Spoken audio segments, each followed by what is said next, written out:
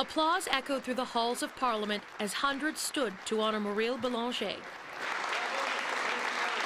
The Liberal MP always dreamed of taking this walk as Speaker of the House, but the circumstances are not what he imagined. Diagnosed with ALS or Lou Gehrig's disease, his mobility is now limited, and he's been robbed of the one thing all politicians value most his voice.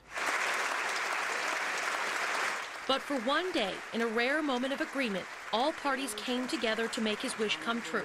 Belanger proudly presided over question period using his iPad to communicate. Oral questions. The Honourable Leader of the Opposition.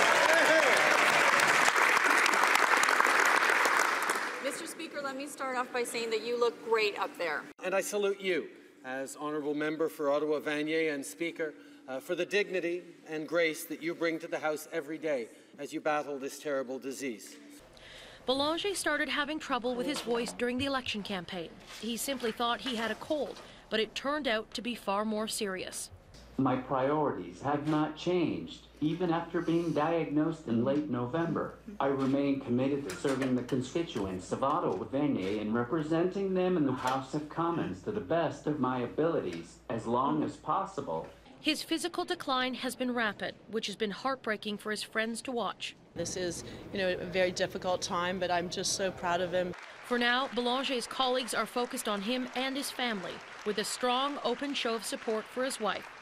And while Belanger may have lost his voice, his message of determination came through loud and clear.